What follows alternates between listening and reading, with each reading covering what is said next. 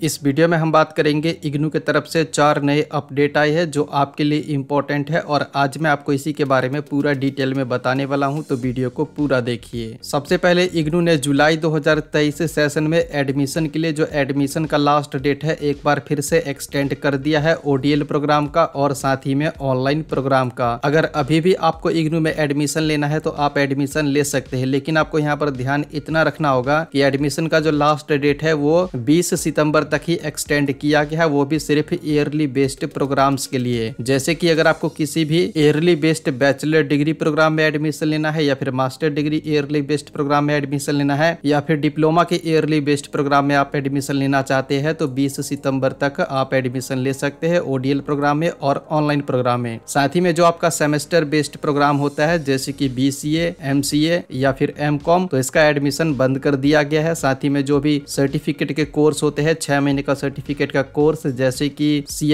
हो गया या फिर सी हो गया या फिर सी हो गया तो इसका भी एडमिशन बंद कर दिया गया है। ओनली ईयरली बेस्ड प्रोग्राम में आप 20 सितंबर तक ऑनलाइन एडमिशन ले सकते हैं। और अगला जो अपडेट आया है, वो आया है री रजिस्ट्रेशन के रिगार्डिंग इग्नू ने जुलाई 2023 सेशन का जो री रजिस्ट्रेशन का लास्ट डेट है, पुराने स्टूडेंट्स के लिए एक बार फिर से एक्सटेंड कर दिया है। अगर अभी तक आपने नेक्स्ट ईयर या फिर नेक्स्ट सेमेस्टर के लिए री रजिस्ट्रेशन नहीं करवाया है तो आप 20 सितंबर तक री रजिस्ट्रेशन करवा सकते हैं, लेकिन इसमें बदलाव ये किया गया है कि इस बार आपको लेट फ़ीस का फाइन देना होगा, दो सौ अगर आप एलिजिबल है तो करवा लीजिए, अगर नहीं करवाते हैं तो फिर ऐसे में आपका पूरा छह महीना खराब हो जाएगा। और अगला जो अपडेट आया है, इसके अकॉर्डिंग इग्नू ने जून 2023 एग्जामिनेशन के रिज़ल्ट का एक नया अपडेट 11 सितंबर 2023 के डेट में पब्लिश कर दिया है, और इसके बारे में मैंने आपको टेलीग्राम पर शाम को बता दिया था, लेकिन मैं वीडियो नहीं बना पाया। तो अगर अभी तक आपने टेलीग्राम को ज्वाइन नहीं किया है तो ज्वाइन कर लीजिए। इससे ये फ़ायदा होगा कि जो भी अपडेट आता है, वो आपको तुरंत से ही पता चल जाएगा।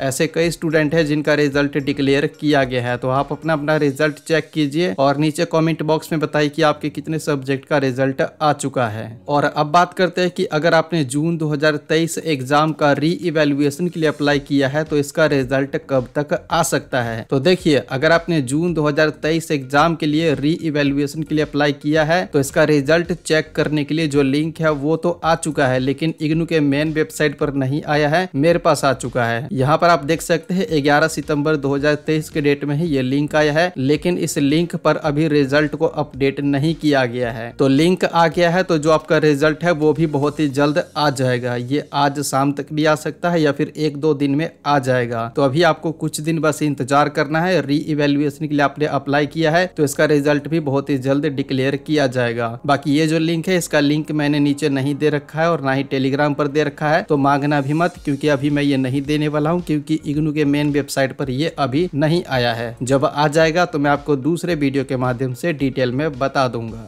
वैसे अगर ये लिंक मैं आपको देता भी हूँ तो यहाँ पर आपका रिज़ल्ट ओपन नहीं होगा, क्योंकि यहाँ पर रिज़ल्ट अभी अपडेट ही नहीं हुआ है ओनली लिंक आया है। तो इस वीडियो में इतना ही। अगर ये वीडियो आपको पसंद आया है तो लाइक कीजिए शेयर कीजिए, और आपका कोई सवाल है तो नीचे कॉमेंट बॉक्स में बता सकते हैं।